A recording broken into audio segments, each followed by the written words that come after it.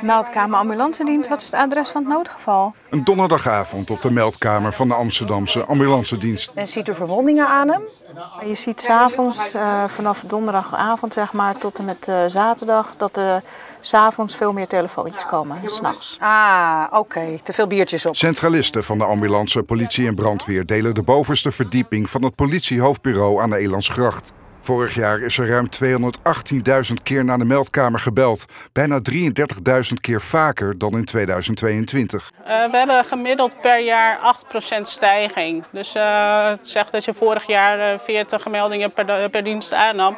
Zit je nu op 50, 60 meldingen per dienst. Dus dat maakt het ook wel dat de centralisten die druk ervaren. Nog steeds wordt het noodnummer vaak onnodig gebeld. Oh, nou, daar was er vast niks aan de hand en heeft hij gewoon een hele gezellige avond gehad. Opvallend veel belletjes zijn drugsgerelateerd. En heeft u alleen Spacecake genomen of heeft u ook nog andere middelen genomen? Vele toeristen die aan het experimenteren slaan en zich vervolgens helemaal rot schikken. Dan moeten we uitleggen van ja, als je Spacecake, wiet of andere gerelateerde middelen gebruikt, dat dat best wel wat effecten geeft. Now you're not feeling well.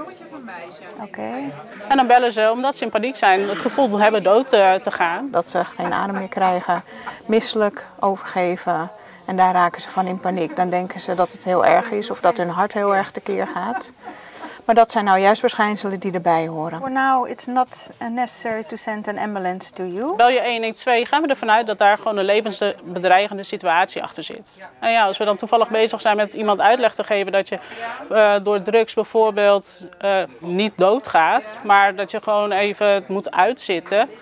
En daarachter zit wel een reanimatie. Ja, dat kan dan een delay opleveren. Dus dat zijn wel dingen die uh, wel wat doen met de verpleegkundigen die hier werken. En er is op de meldkamer van de ambulance al een flink personeelstekort.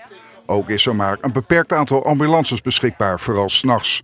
De centralisten zouden al erg geholpen zijn als er bij bijvoorbeeld een plak Spacecake een bijsluiter zou komen die waarschuwt voor de bijeffecten. Absoluut. Een gebruiksaanwijzing of uh, wat meer campagnes of uh, vanuit uh, bepaalde zaken waar ze dat halen, dat ze daar wat meer uitleg over geven. Dat zou wel fijn zijn als dat gebeurt.